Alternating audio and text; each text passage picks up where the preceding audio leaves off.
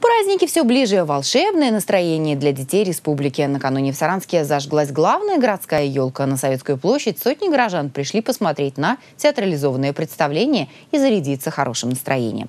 Наташа Макшаева тоже кричала «Елочка, гори!». Десятки детей пришли на открытие главной новогодней елки города. На представлении было то, что все так любили в детстве, начиная от хороводов, заканчивая конкурсами и сказочными персонажами. Внимание!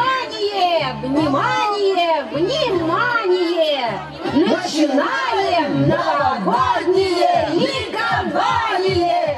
А тем временем главным зрителям никто не запрещал мечтать. Не дожидаясь Деда Мороза, дети уже загадали желание. Нашим новостям юные зрители рассказали, что придется вести главному сказочному персонажу в Мордовию.